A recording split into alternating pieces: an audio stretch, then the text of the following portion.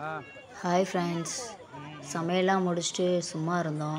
வீட்டில் சரி கொஞ்சம் போர் அடிக்குது அப்படின்னு சொல்லிட்டு சண்டே சும்மா இருக்கக்கூடாது. வெளியில் எங்கேயாச்சும் போகணும்னு சொல்லிட்டு பீச்சுக்கு போகலாம் அப்படின்னு பார்த்தோம்.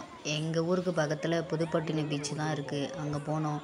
நல்லா ஹாப்பியாக இருந்துச்சு. ஸ்நாக்ஸ் ஐட்டம் எல்லாமே கிடைக்குது. போய் ஸ்நாக்ஸ் ஐட்டம் சாப்பிட்டுட்டு அப்படியே என்ஜாய் பண்ணிட்டு வந்தோம். நீங்கள் அந்த சைடு போனீங்கன்னா எங்கள் கமெண்ட் பாக்ஸில் கமெண்ட் பண்ணுங்கள் லைக் பண்ணுங்கள் ஷேர் பண்ணுங்கள் சப்ஸ்கிரைப்